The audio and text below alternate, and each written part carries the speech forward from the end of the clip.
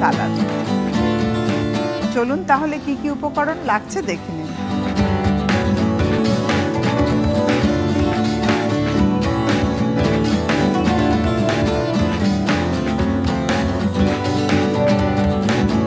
আমি প্রথমেই কাজী farms kitchen meet বলগুলো বের করে নিচ্ছি। এবারে আমি একটু তেল দিব। তেল গরম হতে হতে সালাদ ড্রেসিংটা প্রথমে তৈরি করছি। সালাদ ড্রেসিংয়ের জন্য আমার লাগছে মাস্টার্ড পেস্ট, এক টেবিল চামচ পরিমাণ। দিচ্ছি লবণ, আধা চা চামচ পরিমাণ।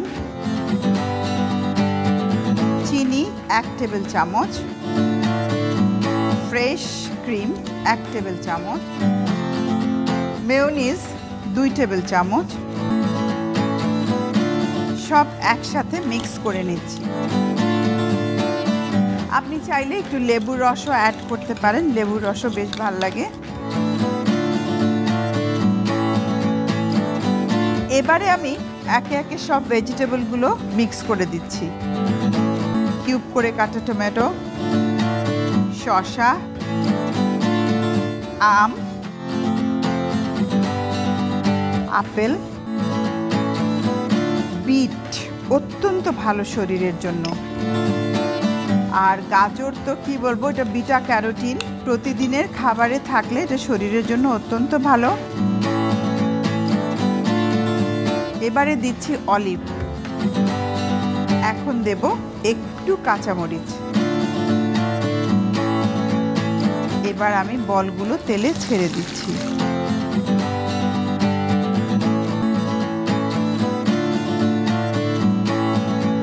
এবার দিচ্ছি আনার।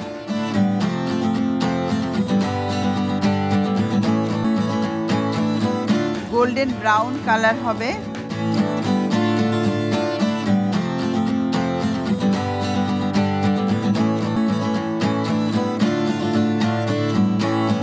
শেষ আমি চুলাটা বন্ধ করে দিচ্ছি। এবারে আমি বলগুলো তুলে নিচ্ছি।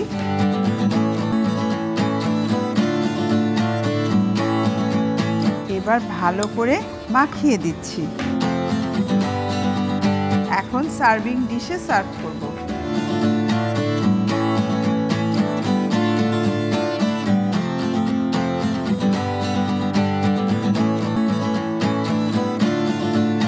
ওপরে একটু আনার ছড়িয়ে দিচ্ছি। তৈরি হয়ে গেল আমার মিটবল উইথ সালাদ আশা করি বাড়িতে আপনারা তৈরি করবেন এবং পরিবারের সবাই মিলে উপভোগ করবেন এই সালাদ। দেখা হবে আবারও। ভালো থাকবেন।